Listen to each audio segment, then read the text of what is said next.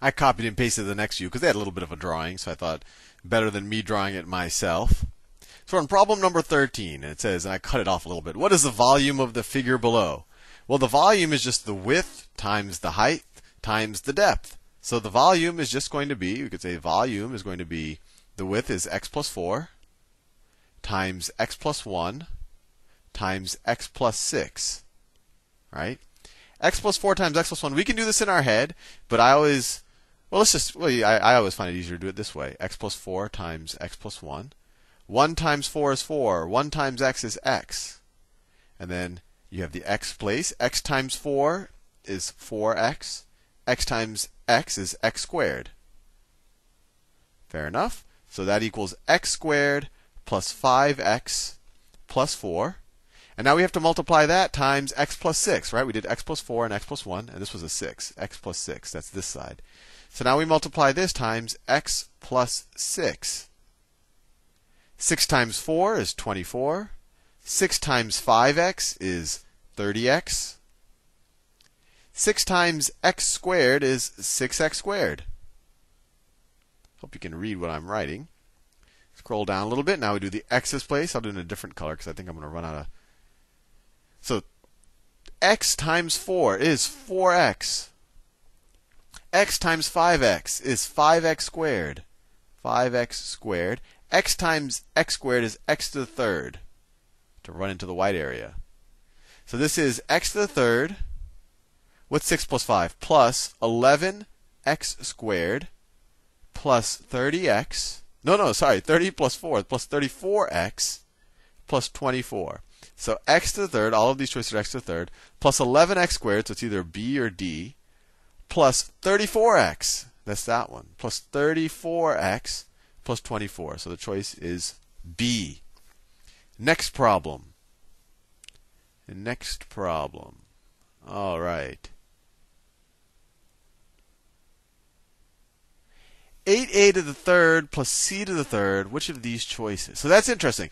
This is not a trivial thing to just factor. You know, you, you just have to, we'll have to do some intuition here. So let's think about it.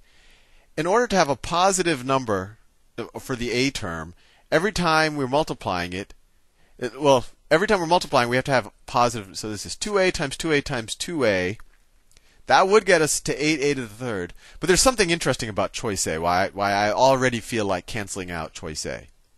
Choice A is essentially 2a plus c to the third power, right? Choice A is 2a plus c to the third power. And every time you multiply this out, every time you multiply 2a plus c times itself, you're going to add more terms. No terms are going to cancel out. I mean, if you were to square this, you're going to get you know, just to show you, you get 4a squared plus 4ac plus c squared. And then to get the third power, you'd multiply that times 2a plus c. So you're going to get this thing with, you're actually going to get four terms. So this is, de- 2a, choice A is definitely not the, the case. In order for one of these to simplify to this, we're going to have to have some positives and negatives there that cancel out terms as you expand these polynomials. So let's look at the other choices see if they make any sense. 2a times, and I like looking at at the a terms and the what what generates the c cubed terms, and maybe we can cancel out some things. 2a times 4a squared, yeah, that's 8a to the third. But minus c times c squared, that's minus c to the third. Right? So when I don't even have to worry about multiplying this whole thing out. I know because the c third the c cubed term is going to come only from this term multiplied by this term. Right? And there'll be other terms that hopefully will cancel out. But we know that choice B cannot be the choice because minus c times c squared is minus c to the third. And this is a plus right here. So we know B can't be the right answer. Let's see. Choice C. I can use the same logic. We have a minus c and we have a plus c. And we have a plus c here. We would have to have two plus c's in order for this to work, so this can't be the answer. So just by deductive reasoning, I can say it's probably choice D, but I'm going to prove it to you since we're here to learn, not to just answer things correctly. So if I were to multiply those two numbers, I have 4a squared minus 2ac plus c squared, and I'm multiplying that times 2a plus c. 2a plus c. So I'm going to mix up all the terms a little bit, but you will get the idea. So the important thing when you're multiplying, you could do this in your head, is that you multiply each of these terms times each of those. So c times all of that plus this times all of that. So c times all of that is c times c squared. And I'm not doing it the right place notation like I did last time because it gets a little more confusing now. But c times c squared is c to the third. c to the third. c times minus 2ac is minus 2ac squared, right? c times 4a squared is 4a squared c. And then now we can do this one. 2a times c squared.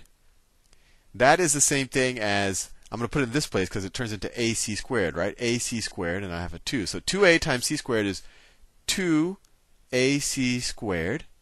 2a times minus 2ac, that's, let's see, you get a minus 4 a squared c. So it's minus 4 a squared c. This is a plus here. And then 2a times 4a squared is 8a to the third. And luckily enough, let's see, they get 8a to the third. 8a to the third.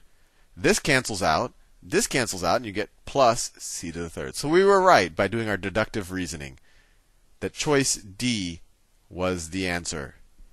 Next problem. Let me have run out of space.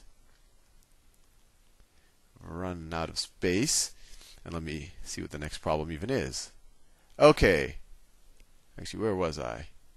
Oh, okay, I see. Okay, problem 15. The total area of a rectangle is 4x to the fourth minus 9y squared. Which factors could represent the length times the width?